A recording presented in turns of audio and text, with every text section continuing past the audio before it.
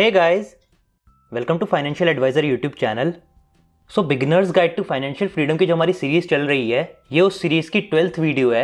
Last video में हमने बात करी थी about investing in gold so if you want you can check that video out talking about this video इसमें हम बात करने जा रहे हैं about investing in debt so let's get started so talking about the introduction debt investing का basically मतलब होता है giving your money to a company और government for a fix time period and fixed interest rate यानी कि आप Depp investing में अपना पैसा या तो एक कंपनी को या एक गवर्नमेंट को देते हो एक फिक्स टाइम पीरियड के लिए, एक फिक्स्ड इंटरेस्ट रेट पे। सिंपली आप ऐसा समझो कि डेप इन्वेस्टिंग में आप एक कंपनी को या गवर्नमेंट को लोन देते हो। एंड जैसे एक लोन के पीछे इंटरेस्ट चार्ज करता है बैंक आपसे, वैसे ही आप अपने पैसा जो आपने उस कंपनी को या गवर्नमेंट को दिया है, उसके ऊपर उस कंपनी या गवर्नमेंट से इंटरेस्ट चार्ज करते हो। So this is what debt investing simply means now जब आप एक कंपनी या गवर्नमेंट को लोन देते हो देन इस बात को अश्योर करने के लिए कि वो कंपनी आपके साथ किसी तरीके का फ्रॉड ना करे एंड आपको टाइम टू टाइम इंटरेस्ट देती रहे एंड एक फिक्स टाइम पीरियड के बाद आपका पैसा वापस कर दे, वो कंपनी या गवर्नमेंट आपको कुछ सर्टिफिकेट्स प्रोवाइड करती है. And these certificates are known as bonds so basically bonds वो सर्टिफिकेट्स हैं जिनके ऊपर क्लियरली मेंशनड होता है कि आपने किसी कंपनी को या गवर्नमेंट को कितना लोन दिया है एंड उसके पीछे आपको कितना इंटरेस्ट मिलेगा कितने टाइम पीरियड के लिए. So this is the basic concept of debt investing. Moving ahead, let's talk about the advantages and disadvantages of debt investing. Starting with the advantages. So debt investing का पहला advantage है fixed returns on investment. So debt investing में जो आपको return मिलता है अपने investment पे वो fixed रहता है. Unlike equity investing जहाँ पे returns fixed नहीं होते. सेकेंड एडवांटेज है less risky so debt investing में जो रिस्क एसोसिएटेड होता है, वो बहुत कम होता है. And most of the cases में इन्वेस्टर को उसका पैसा इंटरेस्ट के साथ वापस रिसीव हो जाता है. एंड थर्ड एडवांटेज है less volatility so debt investing के साथ जो एसोसिएटेड वोलेटिलिटी होती है, वो बहुत कम होती है. दिस मीन्स जो बॉन्ड्स होते हैं, उनका जो प्राइस मूवमेंट होता है, वो बहुत कम होता है. ऐसा नहीं होता कि आज जो बॉन्ड है वो सौ रुपए का है एंड कल बॉन्ड पाँच सौ का हो गया एकदम। डेप इन्वेस्टिंग में ऐसा नहीं होता है। जो बॉन्ड्स के प्राइस का मूवमेंट होता है वो बहुत कम होता है। Now let's talk about the disadvantages of debt investing so पहला डिसएडवांटेज है large investment is needed so अगर आपको बॉन्ड्स में डायरेक्टली इन्वेस्ट करना है तो उसके लिए जो आपको इन्वेस्टमेंट की ज़रूरत है वो बहुत ज़्यादा होती है। जनरली जो इन्वेस्टमेंट चाहिए होती है वो चाहिए होती है around eight to ten lakhs के बीच। And this is one of the biggest disadvantage of debt investing. Talking about the second disadvantage, second disadvantage है returns are not very high. So debt investing में या फिर bonds के ऊपर जो आपको रिटर्न मिलते हैं, वो बहुत ज़्यादा हाई नहीं होते हैं। मोस्ट ऑफ़ द केसेस में ये return six to eight percent के आसपास वेरी करते हैं। बट जनरली एट परसेंट के आसपास ही रहते हैं which are not very high and the third disadvantage is less liquid compare to stocks so यहाँ पे लिक्विडिटी जो होती है, वो बहुत कम होती है। अगर आप बॉन्ड्स बेचना चाहते हो तो यूजुअली कोई और वो इजीली बाय नहीं करेगा। जैसे कि स्टॉक्स के केस में होता है, अगर आप स्टॉक्स बेचना चाहते हो तो कोई भी इजीली बाय कर लेता है, सीधा आप ऑर्डर डालो एंड कुछ सेकंड्स के अंदर आपका ऑर्डर एग्जीक्यूट हो जाता है। बॉन्ड्स के केस में ऐसा नहीं होता है। बॉन्ड्स को बेचना बहुत मुश्किल होता है। And the reason is bonds बहुत एक्सपेंसिव होते हैं तो इनके बायर्स बहुत कम होते हैं। दैट इज़ वाई बॉन्ड्स का जो एंटायर मार्केट है मनी मार्केट जो होता है, उसमें लिक्विडिटी बहुत कम होती है। And this is one of the reason कि बॉन्ड मार्केट में वोलेटिलिटी भी कम होती है। Now let's talk about how to invest in debt so just like stocks debt में भी इन्वेस्ट करने के दो तरीके होते हैं। पहला होता है डायरेक्ट इन्वेस्टिंग एंड दूसरा होता है indirect investing now let's talk about both of them one by one starting with direct investing so direct investing के केस में आप खुद बॉन्ड्स को एनालाइज करके एक बॉन्ड सेलेक्ट करते हो अपने लिए एंड खुद ही उसमें इन्वेस्ट करते हो अपने डीमेट अकाउंट के through without taking any kind of help from any third party ना अगर आपको डायरेक्टली बॉन्ड्स में या डेप में इन्वेस्ट करना है so let me show you कि आप ये कैसे कर सकते हैं. ना अगर आपको बॉन्ड्स में डायरेक्टली इन्वेस्ट करना है so you can use this site called Golden Pi dot com simply आपको Golden Pi dot com type करना है एंड यहाँ पे अपना अकाउंट बना लेना है। देन आपको यहाँ डिस्कवर बॉन्ड्स पे क्लिक करना है एंड जो जो बॉन्ड इस समय मार्केट में अवेलेबल है, वो आपको सारे शो हो जाएँगे। ना बॉन्ड में इन्वेस्ट करने से पहले आपको दो मेन बातों पर ध्यान देना है एंड दैट इज़ किसी भी बॉन्ड की क्रेडिट रेटिंग क्या है। जैसे यहाँ पे दे रखी है क्रेडिट रेटिंग इसकी ए माइनस है, इसकी डबल ए है, ऐसे हर बॉन्ड की क्रेडिट रेटिंग होती है, आपको वो चेक करनी है। Now what I will suggest you is अगर आप किसी भी बॉन्ड में इन्वेस्ट करने जा रहे हो so always go for a triple A rated bond triple A rated सबसे हाईएस्ट बॉन्ड होते हैं। एंड सबसे हाईएस्ट रेटिंग होती है बेसिकली बॉन्ड की एंड वहाँ पे आपका पैसा वापस मिलने के चांसेस मैक्सिमम होते हैं। बहुत ही रेयर ऐसा होता है कि कोई ट्रिपल ए रेटेड बॉन्ड जो है वो डिफ़ॉल्ट करे। So that is why you should go for triple A rated bond and second चीज़ जो आपको चेकआउट करनी है किसी बॉन्ड लेने से पहले that is the yield now yield is the yearly return that you will get by investing in that bond जैसे कि अब ये बॉन्ड है, अगर आप इसमें इन्वेस्ट करोगे पैसा सो आपको ईयरली 13.57 परसेंट का रिटर्न मिलेगा।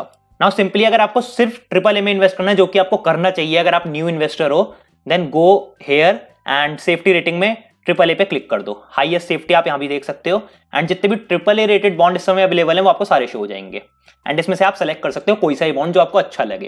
एंड किसी बॉन्ड के बारे में डिटेल में अगर आपको पढ़ना है तो आप उस पर क्लिक कर सकते हो। एंड वो डिटेल में पूरा बॉन्ड का सब कुछ, जो सारा कच्चा चिट्टा है सब आपके सामने ओपन हो जाएगा ठीक है? सो so, ये सब आप यहाँ पढ़ सकते हो डेट ऑफ़ इशू क्या है रेटिंग यहाँ पे एंड उसके बारे में और डिटेल में कंपनी के बारे में अबाउट द इशूअर आप सब पढ़ सकते हो। एंड कंपेयर कंपैरिजन इसके तरीके के और बॉन्ड्स क्या क्या अवेलेबल हैं वो आप देख सकते हो। एंड सिंपली अगर आपको बॉन्ड कोई भी अच्छा लगता है इन्वेस्ट करने के लिए तो आपको सिंपली इन्वेस्ट पे क्लिक करना है एंड के कंप्लीट करनी है। फिर आगे जाके एक प्रोसेस आएगा, आपको इससे अपना डीमेट लिंक करना है। अब आपके पास कौन सा भी डीमेट हो सकता है आईसीआईसीआई डायरेक्ट हो सकता है जीरोदा हो सकता है अपस्टॉक हो सकता है, जो भी डीमेट है, आप उससे लिंक करो इसे एंड जो बॉन्ड है, वो डायरेक्टली आपके डीमेट में चला जाएगा। So this was all about direct investing now let's talk about indirect investing so indirect investing case में ये सारा बॉन्ड पिक करके बाय करने का जो प्रोसेस है, ये आपको करने की ज़रूरत नहीं होती। ये प्रोसेस आपके लिए एक थर्ड पार्टी करती है and that third party is generally a mutual fund now जो म्यूचुअल फंड्स आपका पैसा डेप में या फिर बॉन्ड्स में इन्वेस्ट करें, उन्हें हम डेप फंड्स बोलते हैं।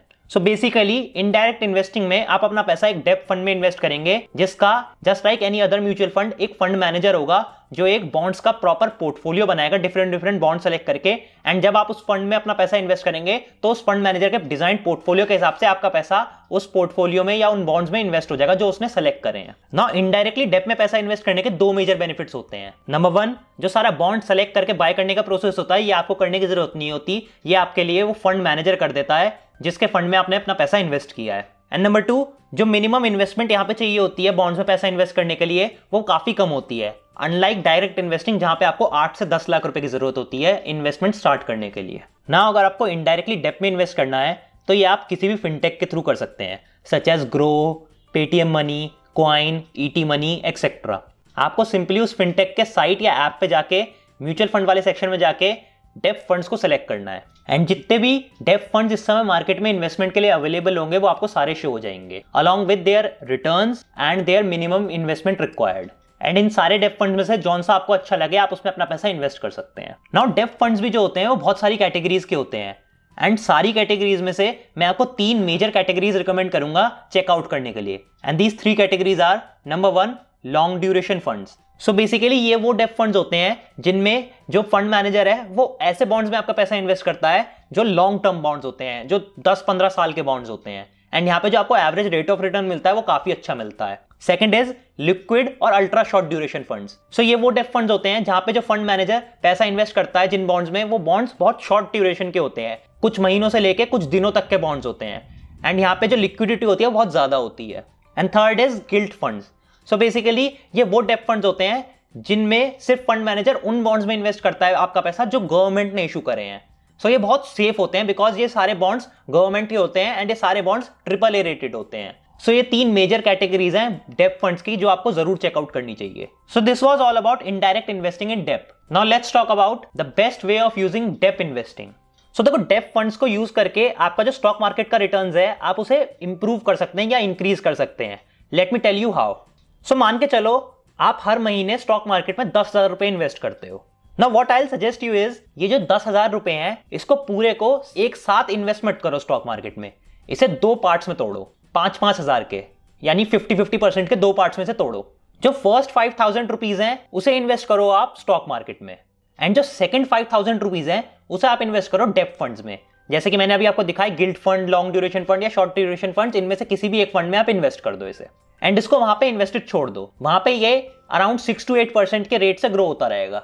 ना फ्यूचर में जब भी मार्केट क्रैश करेगा, एक साल, दो साल बाद, तब ये जो पाँच हज़ार रुपए डाल डाल के जो आपने पूरा टोटल कलेक्ट करा होगा डेप फंड्स में, जितने भी लाख या हज़ार रुपए कलेक्ट करे होंगे, उसको वहाँ से निकालो डेप फंड से एंड तब उसे स्टॉक मार्केट में इन्वेस्ट करो उन्हीं शेयर्स में जिनमें आपने इनिशियली इन्वेस्ट करा था। इससे क्या होगा, जो आपका एवरेज प्राइस होगा पर शेयर का, वो काफ़ी नीचे आ जाएगा। ऐसे मान के चलो, आपने इनिशियली कोई शेयर सौ रुपए में बाय करा है and at present stock market जब क्रैश हुआ है तो वही शेयर आपको सौ रुपए की जगह पचास रुपए में मिल रहा है। एंड आप उसे पचास रुपए में जब बाय करोगे तो जो आपका नेट एवरेज आ जाएगा टोटल शेयर्स का, वो आ जाएगा सेवेंटी फाइव रुपीज़ का।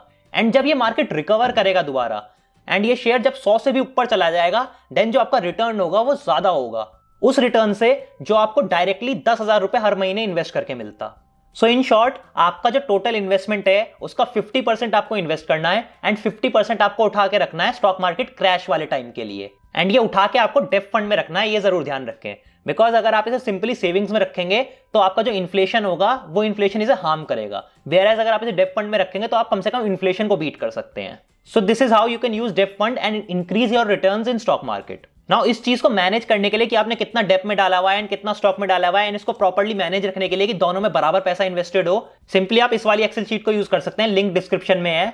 आपको सिंपली यहाँ पे ऐड करना है एक सेक्शन में, जो स्टॉक वाला सेक्शन है, यहाँ पे ऐड करना है आपको कि आपके पास कितने रुपए के स्टॉक हैं एंड जो डेप वाला सेक्शन है, यहाँ आपको ऐड करना है कि आपके पास कितने रुपए के डेप हैं। यानी डेप फंड में आपने कितना पैसा इन्वेस्ट करा है। एंड यहाँ नीचे आपको शो हो जाएगा कि आपका टोटल इन्वेस्टमेंट कितना है। एंड जैसे जैसे आप यहाँ डाटा एंटर करते रहोगे, वैसे वैसे यहाँ चार्ट में आपको शो होता रहेगा कि आपका कितना परसेंट किसमें इन्वेस्टेड है। आपको ट्राई ऐसा करना है कि जो एवरेज है आपका वो 50 परसेंट के आसपास ही रहे, कि 50 डेप में है एंड 50 स्टॉक में है। एंड जब मार्केट क्रैश करे तो आप सिंपली ये डेप फंड से सारा पैसा निकालो एंड स्टॉक मार्केट में डाल दो एंड जो आपके एवरेज प्राइसेज हैं, उन्हें नीचे ले आओ। एंड जब मार्केट दोबारा करेक्ट करेगा, दोबारा बढ़ेगा मार्केट जो कि ऑफकोर्स बढ़ेगा ही तो आपके जो रिटर्न होंगे वो ज़्यादा होंगे। इस तरीके से मतलब बेसिकली आप अपने रिटर्न बढ़ा सकते हो। ये वो तरीका है जो पर्सनली मैं यूज़ करता हूँ। So that's it for this video guys thank you for watching अगर आपको किसी भी रीजन से ये वीडियो अच्छी लगी हो तो इस वीडियो को लाइक करें। चैनल को सब्सक्राइब करें ऐसी और वीडियो देखने के लिए। बेल आइकन दबाएँ ताकि मेरी नई वीडियो का नोटिफिकेशन आपको आ सके।